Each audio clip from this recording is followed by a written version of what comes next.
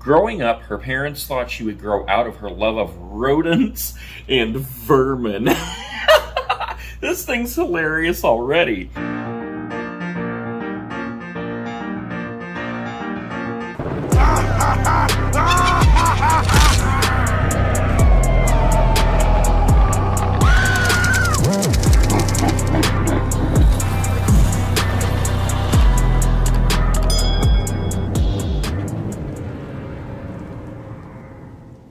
Okay, guys, so if you've been watching, you know that recently we went to the grand opening of the Spirit Halloween flagship store in Egg Harbor Township. It was an awesome time. If you haven't seen that video, backtrack on my videos a little bit. It's posted, it's live, go check it out. Meanwhile, today I got an email while I was driving down the highway from Spirit Halloween letting me know that there is two new animatronics out today and one of them is called a Rat Girl animatronic. Okay, so we're going to look at that real quick here.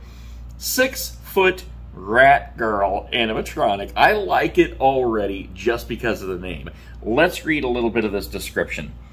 Growing up, her parents thought she would grow out of her love of rodents and vermin. this thing's hilarious already. But unfortunately, all the therapy, shock treatments, and fancy boarding schools couldn't change her obsession. Now, she might still be a little girl, but she's capable of truly evil acts because of the rodents and vermin. Do you know what the worst part is? Rat Girl thinks she's just an innocent child having good, clean fun. This may be the best description I have read yet. From a distance, you might see a sweet girl hanging out on a swing. But if you get too close, beware, because you'll be the next meal for her horde of hungry rats. that is hilarious. All right, let's go ahead and look at this thing. I mean, just looking at her, all she is is a little crouching girl on a swing. I see she's holding a rat. There's a rat crawling up whatever that thing is beside her. Um, she's definitely like dirty. It looks like she got some dirty eyes and her face and her feet and toes are dirty. Um, let's go down and look at some more. That, that looks too funny. Look at that creepy little smile on her face. Here's a close-up of the creepy little smile. oh my gosh, I absolutely love this thing. That is so crazy. I love how she looks. All right, here's a front view. And let's see, another side view here. Another side view. I love how she's crouched on that swing. There's the back. And then there's the uh, the comparison where she's um, compared to the size of a six foot man standing beside her. Okay, let's go ahead and watch the video. Um, I can't wait to see what she does. Now, honestly, I mean, any prop that they ever put out that is a character on a swing, all it does is sort of swing. Um, maybe have some some phrases. Uh, I don't know. I don't know what to really expect. I don't expect her to jump. I don't expect her to do much more than swing and maybe talk about her rats or maybe you'll hear some rat sounds or something. But let's go ahead and do it here. I am so curious.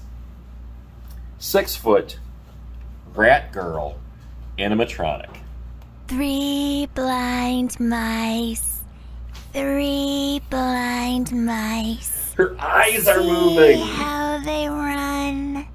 Not fast enough for me. Okay, so it's funny, like that I didn't hear any sounds of rats. Um, she's just singing Three Blind Mice, which is perfect.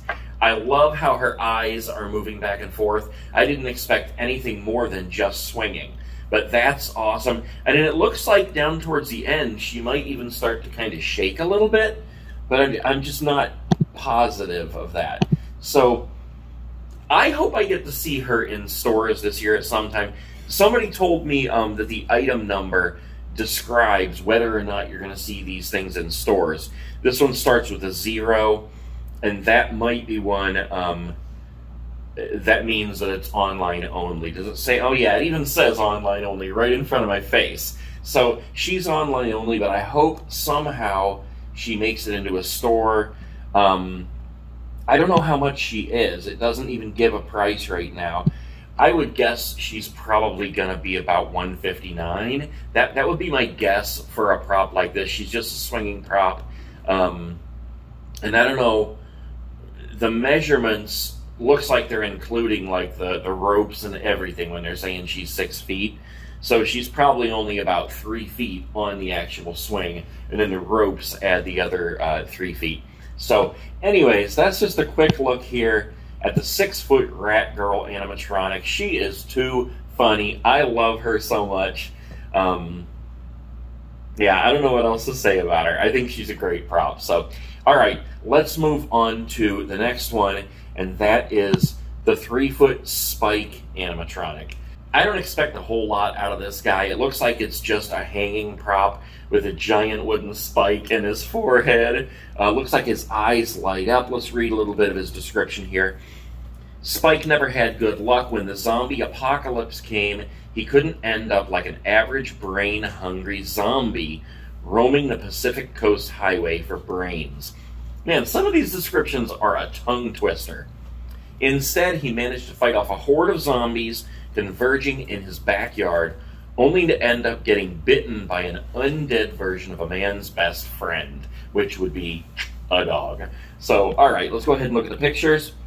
And as I said, it's just like a torso hanging, it looks like. Um, big wooden spike in his head. He looks like a zombie. He's got the big gaping zombie mouth, plaid shirt, eyes light up. Um, yeah, you can see in this one more of how he's just a hanging torso, basically. Looks like he's missing a hand, too. So man's best friend must have got hungry. Uh, let's see, there's a side view. And another side view. Are we going to get a close-up of his face here? A couple more side views. No, it doesn't look like we're going to get a really good close-up of his face. There's the back. And there's the comparison. Um, I don't know. He's not the best looking face I've ever seen, but he is kind of funny. I do like how it's a big wooden spike in his forehead. Let's go ahead and watch the video here. Curious to what he does. I don't expect him to do much.